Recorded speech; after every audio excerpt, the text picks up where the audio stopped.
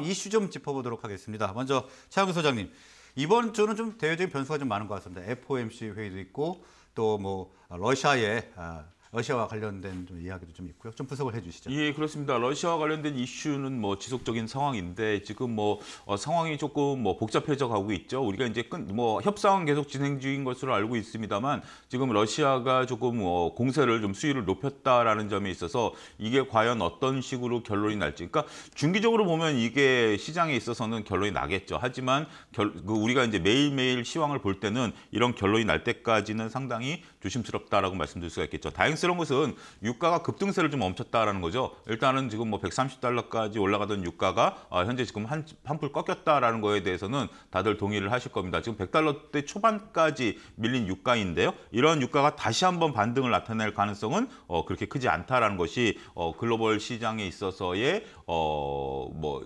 인플레이션 이런 것들을 좀 자극을 좀 덜 할 것으로 보여지고요. 역시 중요한 것은 이번 주 우리 시간으로 이제 목요일 날 아침에 어, 발표되는 미국의 금리 인상 스탠스입니다. 물론 지금 금리 인상을 25bp 하느냐 50bp 하느냐는 어, 그렇게 중요하지는 않은 것 같습니다. 그 뒤에 나올 점도표라든지 어, 그다음에 기자회견에 있어서의 어, 파월 의장의 어떤 발언의 강도, 어, 그다음에 향후에 대한 예측 이런 것들이 더 중요할 것으로 보여지기 때문에 일단은 뭐 목요일 날 새벽에 일단은 우리가 그 금리 인상을 확인하긴 해야 되겠습니다만 그 뒤에 나오는 어, 후속 보도들에 대해서도 어, 관심을 가지셔야 된다라고 말씀드릴 수가 있겠습니다.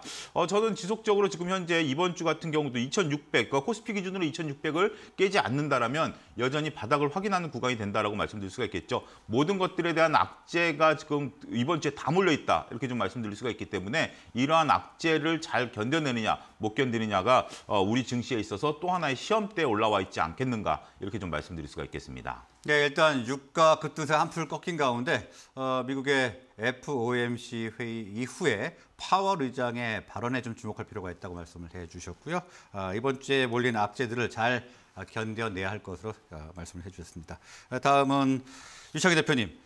최근 이제 보복 소비가 살아나는 조짐을 좀 보이고 있습니다. 네. 저희가 어, 관련해서 어떤 전략을 좀 취해 나가야 될까요? 네. 일단 뭐 저는 뭐, 뭐 어떤 정부가 들어온다고 하더라도 결국에는 국민들의 삶을 좋게 하기 위해서 노력을 하는 것이기 때문에 지금 당장 어떤 정책에 대한 어떤 기대감을 보기보다는 어떻게 보면 그 기대 그 새 정부에 대한 어떤 기대감으로 좀 소비 심리가 좀 개선될 수 있다는 부분들에 좀 포커스를 맞출 필요가 있지 않을까 생각을 좀 하고 있습니다.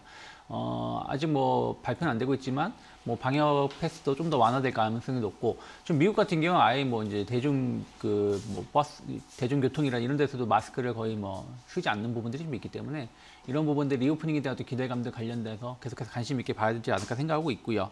특히 이제 글로벌 증시가 좀 안정화가 된다면 지금 아직은 이제 우크라이나 이슈 때문에 그런 것인데 우크라이나 이슈도 결국에는 소비 관련된 거거든요. 지금 에너지 관련된 것이든 무엇이든 다 소비와 연관된 것이기 때문에 그 우크라이나 이슈가 좀 잠잠해진다라면 소비주들이 다시 한번 더 주목을 받을 수 있다 생각하고 있고 뭐 외출이 많아질 수 있다는 부분들. 다만 이제 우리가 소비주를 본다라면 그 전에는 보복 소비다 뭐다 해서 약간 고가 제품들 명품 이런 쪽에 좀 포커스가 맞춰졌다라면 지금은 이제 나들이라든지 야외 이런 부분들에 포커스가 맞춰진다면 소비 관련해서도 조금 흐름이 변화될 수 있다는 것이 그래서 항공주를 본다고 하더라도 약간 저가 항공사들 그리고 뭐 유통주를 본다고 하더라도 뭐 편의점이라든지 뭐 이런 대형 할인마트 이런 기업들이 좀 어, 반사 이익을 누릴 수 있다 생각을 좀 하고 있습니다. 그래서 어, 조금은 그 전하고 다르게 좀 포커스를 맞, 조금 관점을 다르게 좀 두면서 관련된 종목을 좀 계속해서 유의, 유의주시하신다면 이번 주 다음 주 좋은 결과 볼 수 있지 않을까 생각하고 있습니다. 예, 그러면 이제 관심 종목으로 좀 넘어가 보도록 하겠습니다. 창수 소장님. 어, 예, 저도 뭐 유창희 대표께서 reopening 관련주를 말씀하셨는데요. 저도 뭐 reopening 관련해서 호텔 신라를 좀 보고 있습니다.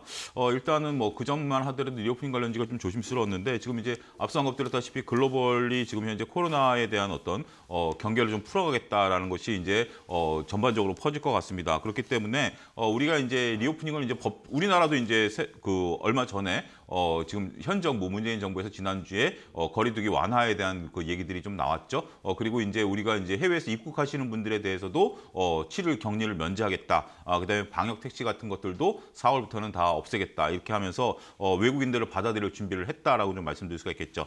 일단은 아직까지 그렇다고 해서 모든 것이 지금 당장 이루어진다라고 보기는 어렵습니다. 하지만 전반적으로 봤을 때 이러한 것들이 글로벌리 풀어지게 된다라면 어, 유청희 대표 말씀하셨던 뭐 보복 소비라든지 아니면 억눌렸던 어, 국내 여행 어, 이런 것들이 충분히 일어날 가능성이 있다라고 보여지는 거죠. 어, 그런 부분에 포커스를 맞추면 어디가 수혜를 보겠느냐라고 했을 때는 어, 지금 뭐 호텔 신라 같은 대표적인 면세점 업체 같은 경우 우리가 관심을 가질 필요가 있다. 어, 호텔 신라 같은 경우 비용을 많이 줄여놨습니다. 우리가 뭐, 어, 뭐 싱가포르 창의공항이라든지 아니면 우리나라 인천공항이라든지 이런 데 임대료를 많이 낮춰놓은 상황이기 때문에 앞으로 이제 여기서 어, 소비가 활발, 이제 여행객들이 활발히 늘어나게 된다라면 전반적으로 소비가 어, 이, 그 이익이 급증할 가능성에 대해서도 우리가 어, 좀 봐야 되지 않을까 좀 말씀드릴 수가 있겠습니다. 일단 목표가는 10만 원 제시해드리도록 하겠고요. 손절 라인은 8만 원 제시해드리도록 하겠습니다. 예, with 코로나와 관련해서 호텔 신라 아, 관심주를 꼽아주셨고 목표가는 10만 원, 손절가 8만 원 제시를 해주셨습니다. 다음은 유창희 대표님.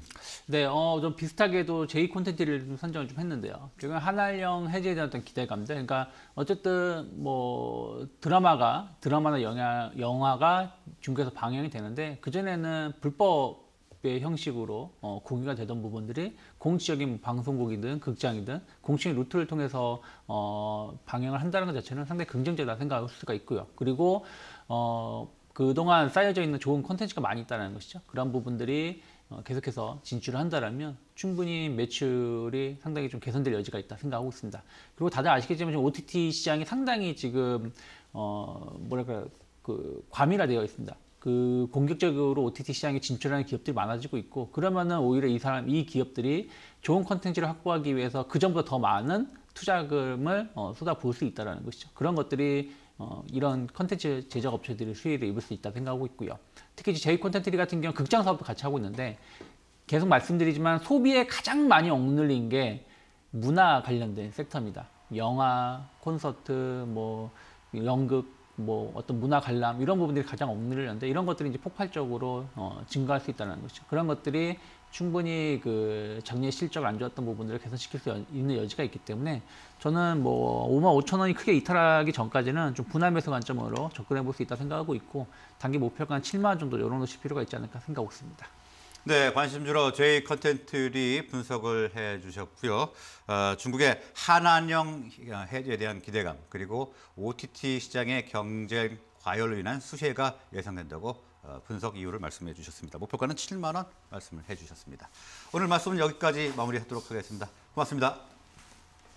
수고하셨습니다.